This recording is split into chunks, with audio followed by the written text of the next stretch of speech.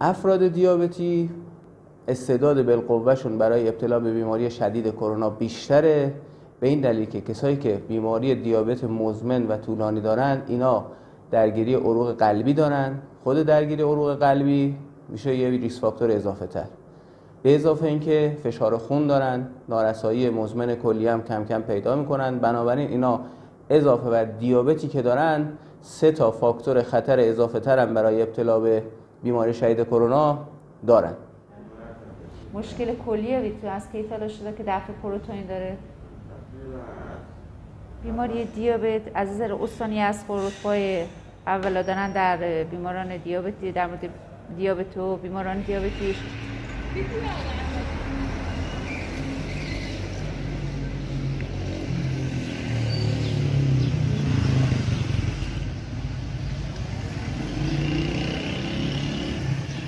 اینجا دومین مرکز دیابت استانی یزده.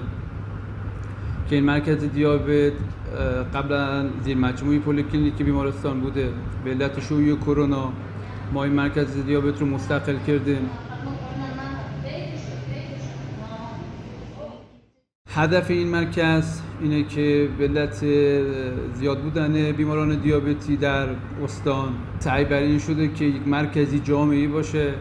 که کلی بیماران دیابتی و فشار خونی به این مرکز مراجعه بکنن و از ابتدای درمان در این مرکز که برای بیماران پرونده دیابتی تشکیل میشه و این پرونده دیابتی توسط متخصصین داخلی تشکیل و به متخصصین دیگر ارجاع داده میشه. قبلا به علت ترس از کرونا به کلینیک های دیگه مراجعه نمی کردن. و اینجا تحت شرایط استریل و اون فاصله گذاری های اجتماعی کلینیک در حال خدمت رسانیه به مردم. منتها در استان یزد به علت اینکه کلینیک دیابتش جدا بود بعضی از شهرستان ها مثل اردکان هم اومدن کلینیک دیابتشون رو جدا کردن از کلینیک بیمارستان و یه مرکز دیگه رو اختصاص دادن.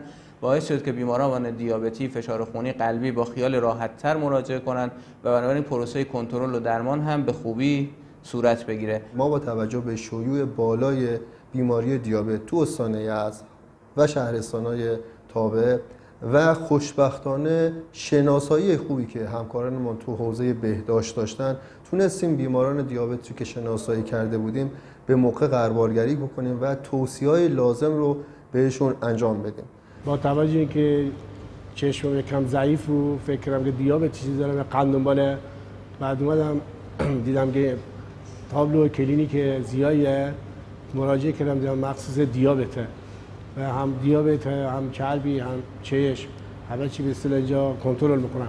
و خواهش می‌کنم از کسانی که احساس می‌کنن که دیابت داره یا قند خونشون بالا حتما مراجعه کنم به این مرکز. و چیزی دیگه بخوای پنهان کنی. بالاخره مریض یه باید دنبالش کنم پیشگیری هم خیلی بهتر از درمانه. الان با توجه به اینکه کرونا مسئله کرونا پیش اومده مراجعات بیماران دیابتی به مراکز درمانی برای کنترل دیابتشون اینا خیلی کمتر شده به خاطر ترس از کرونا که آیا کرونا می‌کنه کرونا بگیرن یا مشکلی برایشون پیش بیاد. متاسفانه با توجه به شیوع کرونا در چند ماه اخیر تعداد مراجعین که به کلینیک دیابت مراجعه می‌کردن خیلی کمتر شدن. همینجا متخصص روانپزشک داریم تغذیه و رژیم درمانی داریم.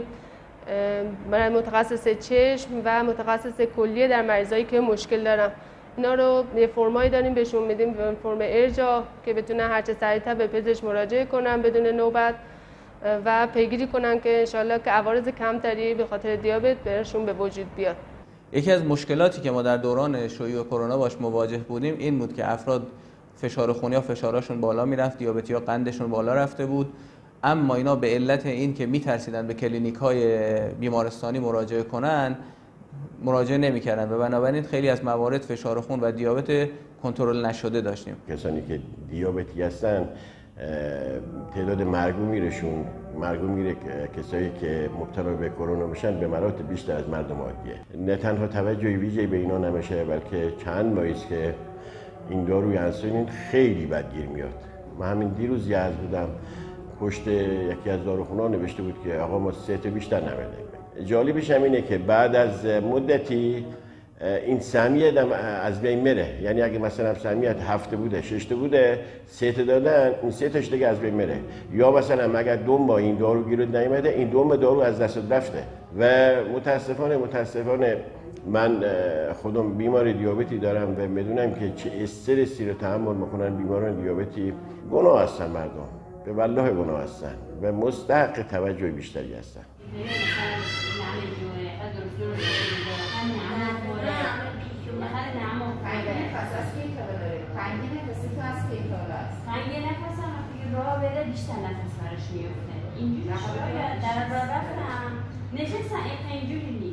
در اون شرایطی که در خانه بمانیم و قرنطینه بود چند تا مشکل وجود داشت. یکی این که افراد تحرکشون کم شده بود. کاهش تحرک و ورزش داشتن. به علت کاهش تحرک و ورزش خودش دیابتا خیلی از دیابتی ها قندشون از کنترل خارج شد. دومیش این بود که سیکل خواب به هم خورده بود و این به هم خوردن سیکل خواب شبانه روزی و بیدار موندن در شب باعث اختلال متابولیسم شد و اختلال متابولیسم باعث شده بود که قندا دوباره از کنترل خارج بشن. سومین نکته ای که تو دوران قرنطینه بود این بود که افراد به ریزه خاری و خوردن غذای پرکالری روی آورده بودن. بنابراین به این چند دلیل و دلیل های متعدد دیگه باعث شد که مریض های دیابتی ما در دوران در خانه بمانیم دچار افزایش قند خون و قندهای کنترل نشده بشن. ما الان مشکلی که مواجه شده می‌بینیم قنداش اصلا کنترل نیست. خیلی هاشون بوده به خاطر همین عدم کنترل قندشون. الان درگیری کلیه بیشون پیشرفت کرده.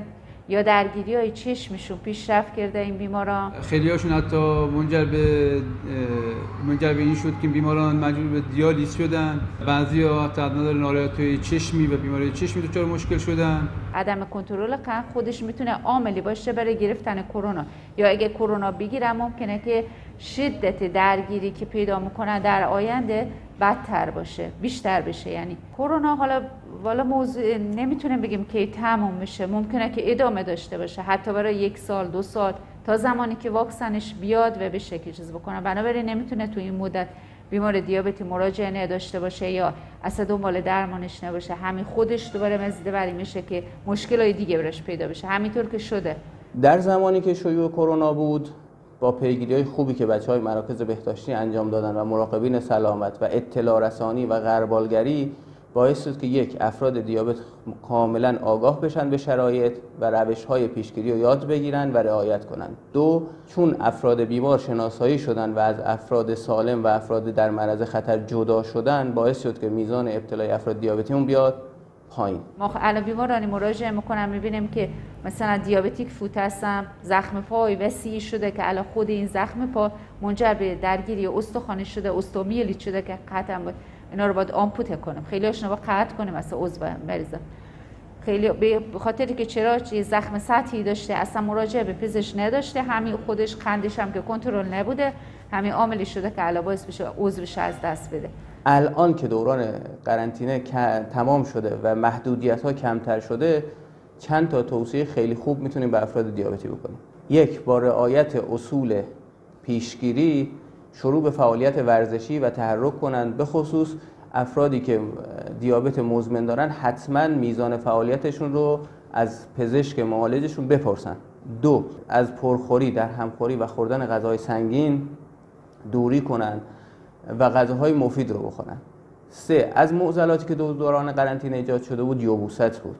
که این یوبوست حتما باید به خصوص تو افراد دیابتی درمان بشه. حالا یا با تحرک و پیاده روی یوبوست رفت میشه یا باید داروها و چیزایی استفاده کنن که باعث بهبود یوبوست بشه. به خصوص یک خیلی مفید برای این افراد مصرف خاکشی با آب گرم. یه قاشق غذاخوری خاکشی یه لیوان آب جوش یه قاشق چایخوری اثر ده دقیقه بمونه و هر روز صبح ناشتا مصرف کنن یه سری مشکلات افسردگی و نام ایجاد شده. و یکی از دمنوش های خیلی خوبی که میشه استفاده کنید دمنوش بادرنجویه با استخودوسه منتها اگر کسی بیماری زمینی داره حتما با پزشکش مشورت کنه. استفاده از رایه های خوشبو فوق العاده مفیده مثل گلاب مثل رایحه استخودوس اینا خودش باعث نشاط آوری و سرحالی میشن و استراب رو هم کم می‌کنن.